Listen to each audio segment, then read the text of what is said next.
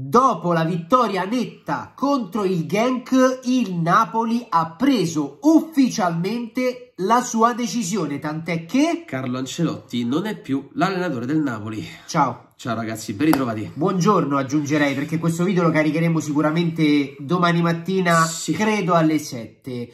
Ovviamente siamo qui per esprimere il nostro parere sull'esonero di Carlo Ancelotti e sul possibile a questo punto arrivo come suo sostituto di Rino Gattuso. Di Gennaro Gattuso. Tra l'altro poi, oh, Gattuso, Ancelotti, Ancelotti, Ancelotti Gattuso. Insieme se sono... Se Hanno già... fatto grande il Milan, Assolutamente diciamolo. sì. Come vedi tu questo esonero di Carlo Ancelotti dopo, dopo la vittoria per 4-0 contro il Genk e come vedi Gennaro Gattuso allora, che arriverà probabilmente come suo sostituto? Voglio subito fare un, uh, un appunto su Gattuso, eh, io lo vedo bene, eh, forse è proprio quello eh, di cui ha bisogno il Napoli in questo momento, un allenatore che sappia far ritrovare alla squadra un certo tipo di cattiveria agonistica. Cattiveria, cattiveria perché, perché Gattuso, Gattuso assolutamente sì quella che stava mancando un pochino al Napoli in queste ultime partite, che a mio avviso questa sera... La personalità quindi? Sì. Credi che sia l'allenatore La adatto? come eh. dicono i nostri amici napoletani. Io su questo punto di vista sono d'accordo con te, però poi ho da aggiungere una cosa. Io aggiungerei poi, secondo me, su tutta questa questione che sinceramente io personalmente, cioè questo è il mio punto di vista proprio personalissimo. Siamo qui per questo, per esprimere il nostro parere e condividerlo con loro. Capisco veramente poco ma veramente poco ragazzi perché se si è arrivati a questa decisione di esonerare comunque Ancelotti dopo una vittoria per 4-0 quindi mi viene da pensare che fosse già scritto questo esonero. Potevano farlo prima. Allora o lo fai prima perché tu nell'allenatore non ci credevi più da tempo quindi tu appena hai cominciato a non crederci più a mio avviso dovevi esonerarlo. Probabilmente a questo punto mi viene da pensare andando indietro nel tempo dopo la sconfitta con la Roma?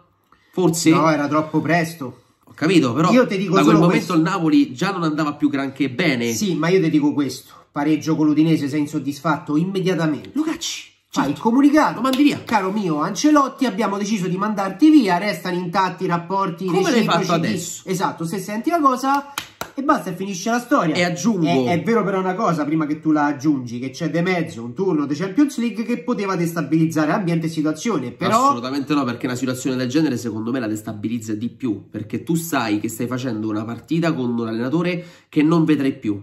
Cioè, secondo me i giocatori dicono: Ma possibile che la società ragioni in questo modo? Che lascia un allenatore fare una partita decisiva per la stagione appunto ad una persona della quale non si fida più? Cioè io avrei pensato tutto l'opposto sinceramente. Comunque Sai hanno vinto 4-0 sì. ti aggiungo che ti okay, stavo dicendo vai, e poi ti dico io. a sto punto l'hai tenuto fino adesso? Perché lo esonerarlo dopo? Una vittoria per 4-0 c'hai altre due partite per chiudere la stagione? Perché c'hai altre due partite di campionato.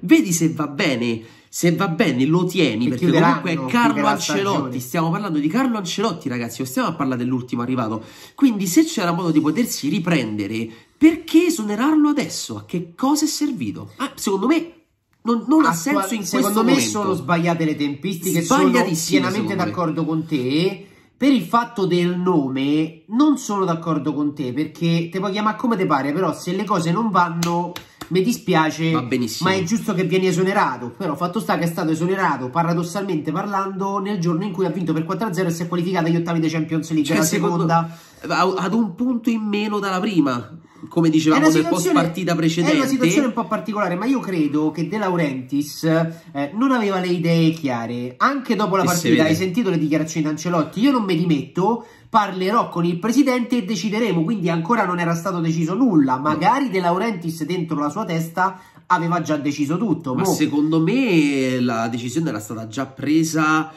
forse anche prima di Udine.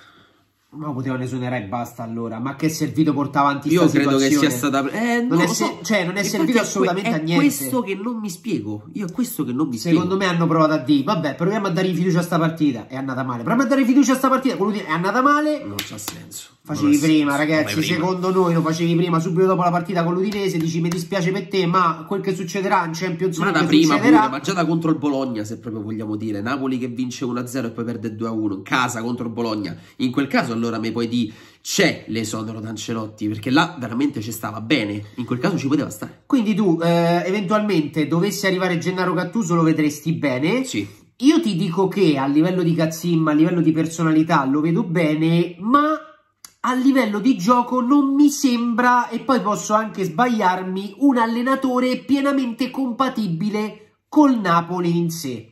Allora, c'è sicuramente poi una linea cosiddetta di discontinuità rispetto al passato, perché comunque hai avuto Benitez e successivamente Sarri, che sono due giocatori, e due allenatori, scusatemi, che notoriamente che fanno giocare bene la squadra. Esatto, io quello ti dico. Ancelotti, sì, comunque fa rendere bene i suoi giocatori sì, però, non agli stessi Ancelo, livelli esatto, Giancelotti non, non fa giocare benissimo le squadre nell'allenatore vecchio stampo eh, ma è più equilibrato esatto. rispetto a Sarri che punta magari più sul bel sul gioco, bel gioco. Esatto. io quello intendevo io ancora vedo il Napoli diciamo c'è una rottura rispetto al passato su quel tipo di gioco sul bel gioco sui tocchi rapidi sulle azioni però secondo me un pochino di concretezza in più con Gattuso si può ottenere in questo senso e non, non ne per vedo Gattuso male. è un ottimo allenatore eh? cioè, io vorrei ricordare la stagione la che ha fatto Gattuso col Gattuso... Milan. Cioè l'ultima che ha fatto col Milan che poi è stato esonerato in favore insomma del nuovo allenatore del Milan De Giampaolo se non mi ricordo mai sì era De Giampaolo scusatemi. Sì, sì